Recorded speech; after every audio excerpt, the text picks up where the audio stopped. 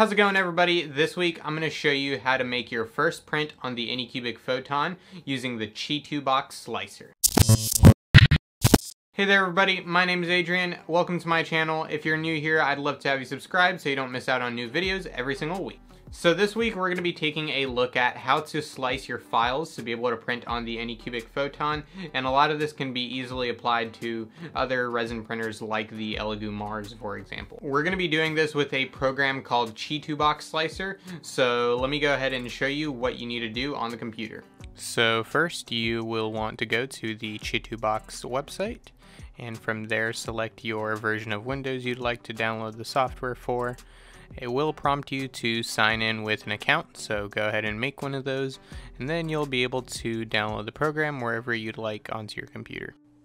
Once you've got it installed, you'll want to open it up and you'll click on the settings tab on the right, and then you'll be able to go select your printer, more than likely if you have like an Anycubic Photon or Elegoo Mars. Then you've got your settings um, for your different resins and your print settings. Uh, I just leave everything on default for the Anycubic Photon. Then it was time to drag in my file. Um, you just can open up another folder and drag it straight into the software. Then you'll want to orient your part with the side you care about the least facing towards the bed of the printer, and that's just because that's where all of these supports will connect. If you want some more in-depth information about supports, I will have a video linked in the description. For this part, I just uh, used the auto support function, and um, I was okay with those, so I just left them alone. Another thing that I like to do that can help you save resin on your larger prints is hollow out the interior. And to do that, you just select a wall thickness and inner hollow, and you let the software do its thing.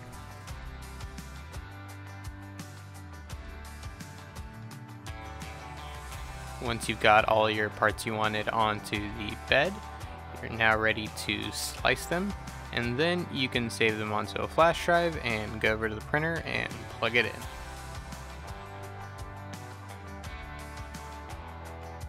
So first you just turn on your photon. Uh, the bed leveling and everything has already been done on mine. If you want to know how to do that, I'll have a link in the description. Here is the resin I'm using. So to print your files, you go through the print menu and you find your sliced file. You'll be able to see with little photos and then you just select it and hit the print start button and now your Anycubic Photon or other resin printer is printing.